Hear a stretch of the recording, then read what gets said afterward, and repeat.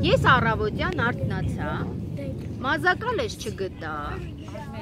Արևից մի շող պոկեցի, մազերս կապեցի։ Ոչ, շատ էլ հնարավոր է։ Արևի շողերը այնքան շատ են, մի հատ կարես փոքես կապես։ Մի անգամ ականջողներս ուզում էի դնել։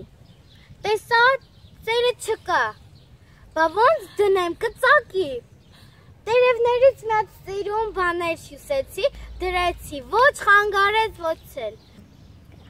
Մի անգամ ես գնացել էի ծնունդի, ձմեռը,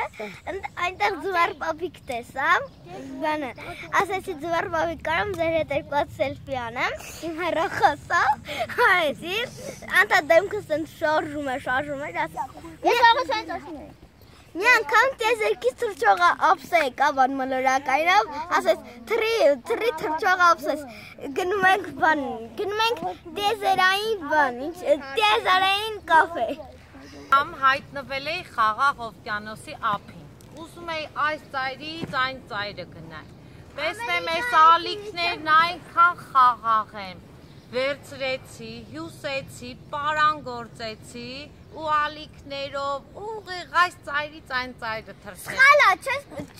անանանա։ Ինչու։ Եթե չես կարող ջուրի բռնես հյուսես։ Հնարավոր եմ ջրով բռնել ու բազել։ Դեմա բռնեք ու հյուսեք։ Այսօր ով տեսա Տեսա մեր գրադարանավարում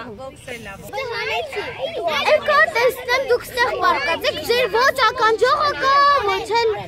ոզնոցը Այս Օլեքսը ոզում է ականջողները ձեռին Վազեցի որ ձեր ամեն ինչը հետ բերեմ Մեկ է տեսնեմ ինքն